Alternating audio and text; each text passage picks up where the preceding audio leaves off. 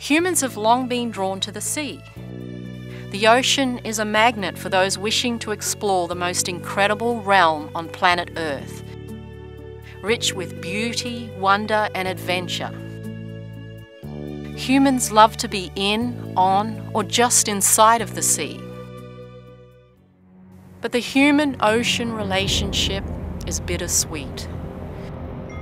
For centuries, the oceans have been used as a dump for human debris. Since the 1960s, post consumer plastic products have become the most common and persistent pollutants in the world's oceans. Plastics are lightweight, durable, and cost effective. Plastics can be fabricated into almost anything. Lamentably, these same properties pose a serious hazard to ecosystems. It has been said that plastics, like diamonds, are forever. Plastics are the fastest growing segment of the watershed waste stream, creating serious and deadly impacts on marine creatures and food webs. The world ocean is becoming an artificial environment more like a synthetic sea. Research over the past decade has provided a way to quantify the proliferation. Scientific trawls in the Northeast Pacific Gyre in 1999 by the Algalita Marine Research Foundation revealed that drifting plastic particles outweighed available zooplankton in the ocean by a factor of nearly 6 to 1 as demonstrated by this surface trawl sample. However, this baseline was established 10 years ago. So what are the concentrations now? Scientific trawls by Algalita in 2008 recorded an average of about 46 pounds of plastic to just one of zooplankton in the region known as the Northeast Pacific Gyre. This exponential increase is demonstrated by the sample choked with plastic fragments.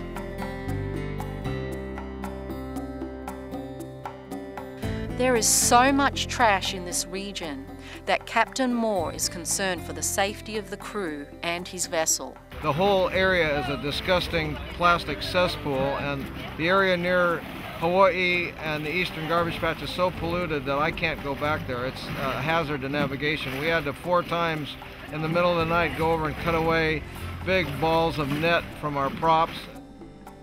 The prop was wrapped at high speed by all this netting. It thrust the drive shaft forward and thrust the whole motor forward an inch into the cover for the belts. I can't subject the crew uh, to the risk of collision or the risk of uh, disabling the vessel and that will be my last trip. It's just uh, too polluted now for navigation of a boat uh, in the area of the eastern garbage patch.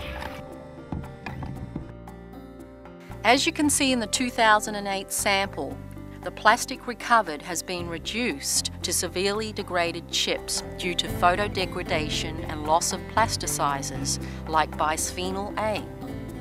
The plastic becomes brittle and breaks down over time.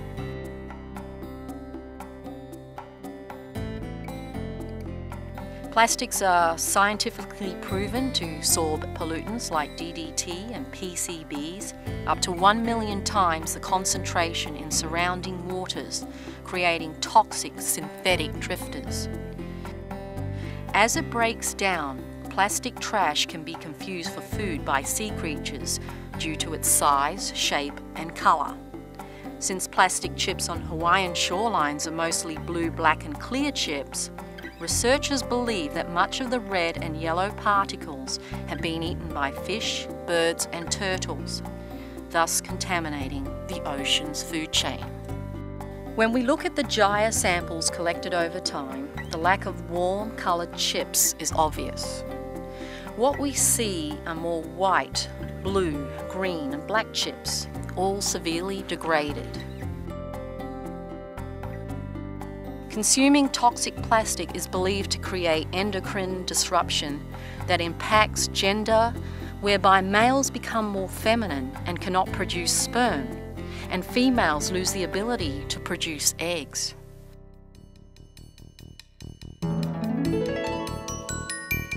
Since more than half of plastic debris sinks, the seafloor becomes impacted as well.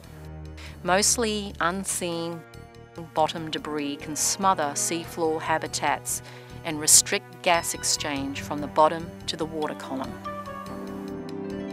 The problem is not restricted to post-consumer products and packaging. There are feedstock or pre-production polymers shaped like pearls. They escape factories and are carried by the watershed into rivers and eventually into the ocean.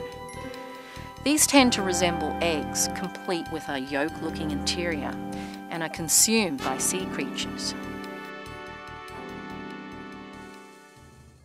Today, plastic dust is also employed in synthetic products.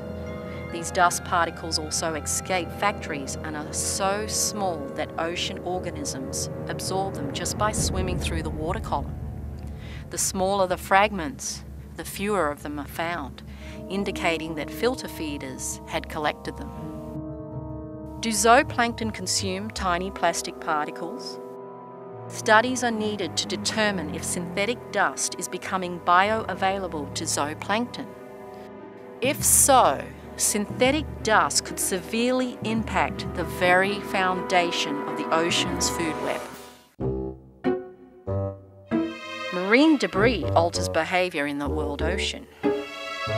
In Indonesia, carrier crabs have long used sea urchins for protection as they forage at night. Now plastic cups are being employed instead of sea urchins.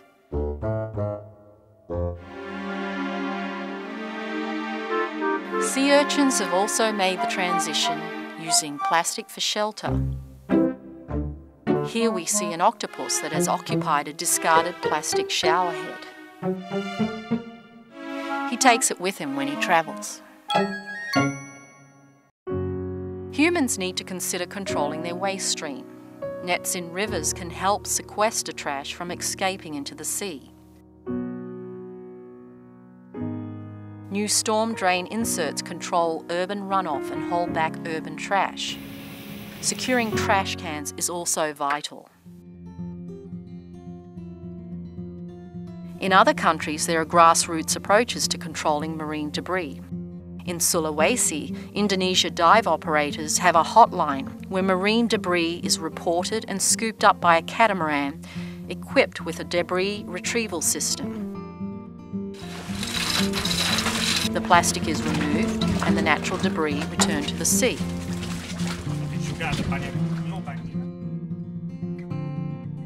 Concerned divers are also active in removing trash they encounter.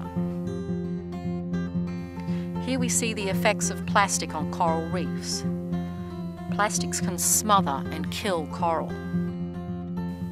Plastic floating at or near the surface is part of a drifting surface ecosystem called a windrow.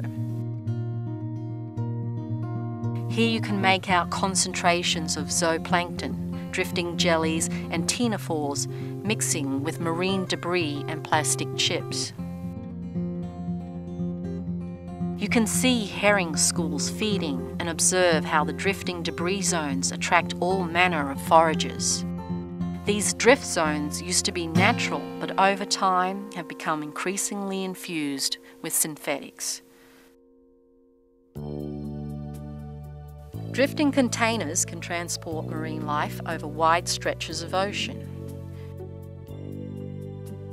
Drifting sargassum is home to juvenile fish attracting even more predators. Over the eons of millennia, foraging sea creatures have been using these windrows for nutrition, but now these debris zones contain toxic accumulations of plastic. Due to the long life of polymers in the marine environment, it is vital that humans address the litter problem locally, nationally, and internationally. Really disgusting plastic cesspool uh, that uh, has to be uh, burned into the consciousness of humanity that the ocean is now a plastic wasteland.